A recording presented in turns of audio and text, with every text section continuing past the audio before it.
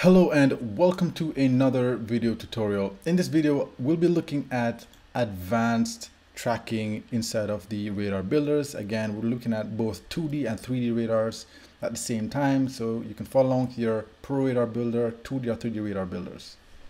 Now, where we left off last time was here on these uh, plain but fine looking radar systems. So we're gonna make these better, improve, uh, we're gonna do some optimization of it we're going to include some tracking lines and we're going to be making use of a lot more of the functions inside of the radar builder. And we're just going to quickly uh, start with the 2D radar. Now, actually, what I'm going to do, I'm going to group these enemy objects together and I'm going to make them rotate around in world space so that we can see our blips moving around and that'll make things a little bit more interesting. Now this uh, these tutorials will be in two parts. This is going to be part one. It's going to be part two of the advanced tracking systems, and if necessary, a part three. So let's just go ahead and uh, begin setting this up. So I'm going to create a new empty game object and then just call it enemies and I'm gonna just drag and drop all of the enemies inside of this object here. And I'm going to add a script to it called called rotate this object. Now this this script comes with the radar builder so you're fine you could just follow along with it you just add this script to it it comes with the tool extras folder so you just find it and add it to it and we're gonna set the x rotation value to about uh, 3 I'm going to go 2 and 4 and turn off use gravity. Alright and that's that. So now our enemies will be moving around. And the next thing that we're going to want to do here to set up this tracking is for the 2D radar I'm going to find this 2D radar and under our center object here we're gonna scroll down. We just use sprite. We're not using prefabs um, for the advanced uh, additional options here. I'm gonna open that out. And we have this option of always show player in the radar. Now if we turn this on what that means is that um, if we're panning around inside of the radar, our player will not be culled once it leaves the uh, culling zone of the radar itself. Now I'm gonna go ahead and turn back on gizmos here to show you what these culling zones are. Uh, we're in scene here. Just, just gonna go to our designs area here. Turn on visualize for the 2D radar. Quickly find the 2D radar, not the sphere. There we go. Gonna look at that from the front. All right, now you see the red line around it. We just turned on visualize. Now in our blips area, we said we're gonna use always show player in the radar. And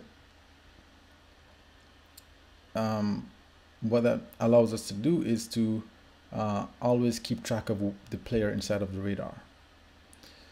Now I'll show you where this comes in handy when we start looking at uh, the pan and the pan functions of the radar itself. And it's quite interesting because it allows for you to uh, look around inside of your world without having to move your character around. So we're just going to go to designs area here. and we're going to look at the scale function. Now let's take a look at what these mean. So currently use local scale is turned off. Now what that means is that if we run our scene and we try to scale the radar using the scale tool here, we won't be able to scale it because it's using a static value of one for the uh, diameter. So we can scale the radar from in here and the red uh, gizmo here represents the radar's diameter. We're going to set that back to one. And what we're going to do, we're going to turn on use local scale just in case at runtime we want to mess with the scale of our radar.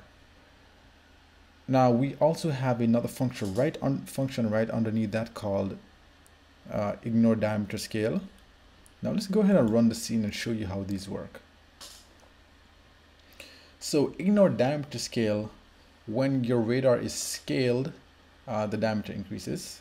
However, the diameter divided by two, that gives us the radius. The radar will only scale by half, by, the radar will only scale through the, uh, through the, through the X and the Y axis by the radius. So if we go ahead and turn that on and we um, just go ahead and grab our Actually, we're going to turn off use local scale so that we can scale it from here. And we begin scaling it. We'll notice that uh, part of the radar gets lost over the screen. So if we're using shaped radars, which are radars that can be of any shape, um, it'd be good to use the ignore diameter scale. Else we just turn that off.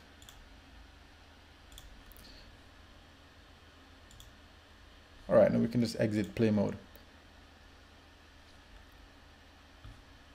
and we just set that back to use local scale all right good. Now I'm going to be showing you the scene scale value. Now scene scale determines how much the radars can see. And I'm showing you here in the 2D radar but the functions for the 3D radar are this very same. Um, let's go ahead and just select the 3D radar really quickly. Now if we open this out we'll notice that we have uh, another function here called inner culling zone and I'll get to that a little bit later. We also have that for uh, we have that in the 2d radar here. So let's go ahead and change the scene scale. The scene scale value as I mentioned before determines how much the radar can see. So if we increase that scene scale value we can see more. If we reduce the scene scale value we'll see less. So let's reduce that scene, increase that scene scale value so that we can uh, zoom out and see our blips. There we go. All right. Now for the inner culling zone, let's go ahead and turn on the gizmos here so you can see the uh, culling zones. The yellow zone here, the yellow gizmo here represents our tracking bounds. If we increase the tracking bounds, we allow the radar to uh, render more or even outside of the radar design space. So we're going to set this back to one. Now the inner culling zone, as you you you guess what the function is for this, it makes sure that anything that enters the inner culling zone gets culled. Now sometimes when you're using the inner culling zone, you will not see an object get culled immediately because what we're doing is that we're translating the object's position in world space that's using the X, Y, and Z uh, position into this flat 2D uh, radar, which is only uh, displaying to us what we can see uh, moving through an X and Y position.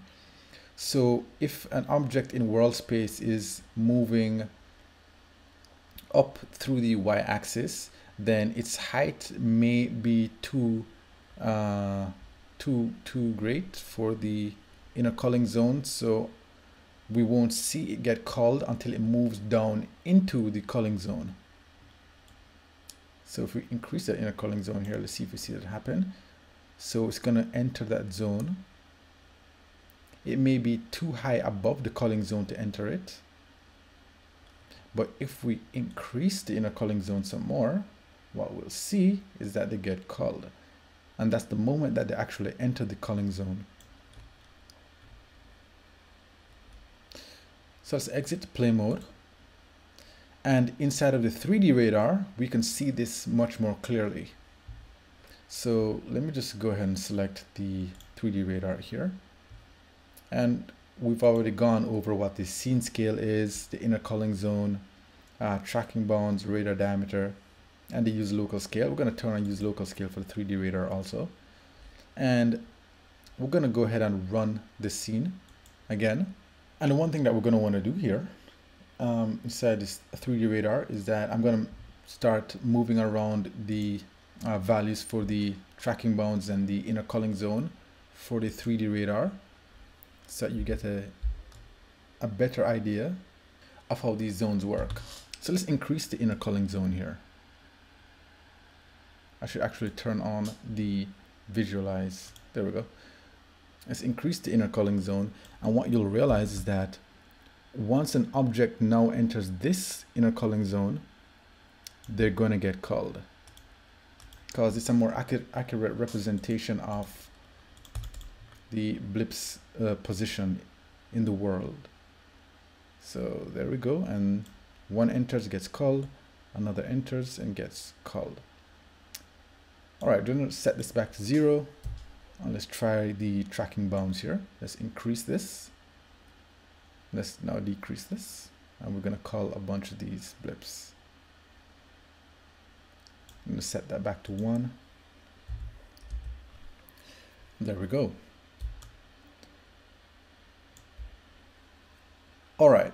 In the next video, what I'm going to be looking at is uh, setting up the tracking lines and base trackers for the uh, 3D radar. And then we'll start to see this 3D radar really start to come together. So thanks for watching and I'll see you in the next video.